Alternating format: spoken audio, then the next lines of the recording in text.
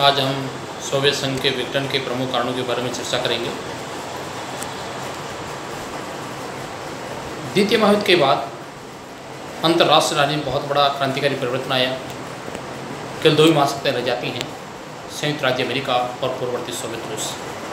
अन्य महाशक्तियाँ या तो युद्ध में पराजित हो गई, या आर्थिक स्थिति अधिक कमज़ोर हो गई, जो किसी अंतर्राष्ट्रीय घटनाक्रम को प्रभावित करने की स्थिति नहीं होते हैं।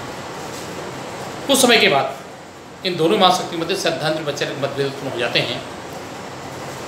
एक तनावपूर्ण स्थिति उत्पन्न हो जाती है, जिसे शीत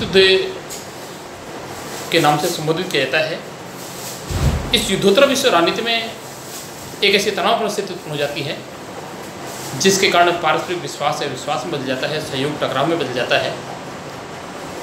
लेकिन सोवियत संघ के आठवें और अंतिम राष्ट्रपति मिखाइल गोरबाचेव, जिनका शासनकाल 11 मार्च उन्नीस सौ पचासी से लेकर के 25 दिसंबर उन्नीस सौ तक का माना जाता है। मिखाइल गोरबाचेव सैद्धांत बचर मतभेदों के बढ़ाने के पक्ष में नहीं थे। उन्हें शांति का महादूत उन्हें शांति के महादूत के रूप में देखा जाता है। गोरबाचेव ने शासन सप्ताह में आते ही तीन महत्वपूर्ण एहसास किए। पहला एहसास ये किया, उन्होंने महसूस किया कि सोवियत संघ की अर्थव्यवस्था अत्यधिक जर्जर हो चुकी है, खोखली हो चुकी है और जो जो टूटने के कगार पे जा चुकी है, जिसमें तत्काल सुधार की आवश्यकता है। दूसरा एहसास उन्होंने यह किया कि जब तक अन्य देशों से आर्थिक सहायता प्राप्त नहीं की जाती है, इस स्थिति में सुधार नहीं हो सकता है, अर्थात अन्य देशों से संबंध सुधारे बिना आर्थिक सहायता प्राप्त होना संभव नहीं है। तीसरा एहसास, उन्होंने ये महसूस किया कि जब तक अंतर्राष्ट्रीय संघर्षों से मुक्ति प्राप्त नहीं कर ली जाती है, देश में आंतरिक सुधारों को प्रभावशाली ढंग से लागू नहीं किया जा सकता है।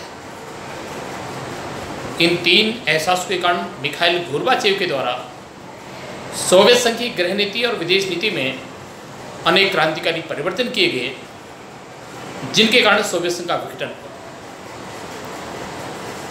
मिखाइल गोरबाचेव ने सोवियत संघ की गृह नीति और विदेश नीति में क्रांतिकारी जो परिवर्तन किए, इन सभी परिवर्तनों की अग्नि परीक्षा पूर्वी यूरोप में हुई। सोवियत संघ का जो विघटन हुआ, अपने ही अंतर्विरोधों के कारण उसका विघटन हुआ है। क्योंकि पूंजीवाद ने कभी भी साम्यवाद को पराजित नहीं किया है। अमेरिका का तो केवल इतना ही इतना ही योगदान है कि शीत युद्धोत्तर विश्व राजनीति में सैद्धांत वैचारिक मतभेदों को बढ़ा करके सोवियत रूस को अस्त्र शस्त्र की नवीन तकनीकों को विकसित करने के लिए बाध्य किया, मजबूर किया, जिसके कारण सोवियत संघ की अर्थव्यवस्था पर अत्यधिक भार पड़ता रहा और अंतर्राष्ट्रीय मुद्दों से का ध्यान रखता मिखाइल गोरबाचेव ने अपने पूर्ववर्ती शासनाध्यक्षों के विपरीत सोवियत संघ की गृह नीति में जो क्रांतिकारी जो परिवर्तन किए, पहला परिवर्तन के द्वारा यह किया गया,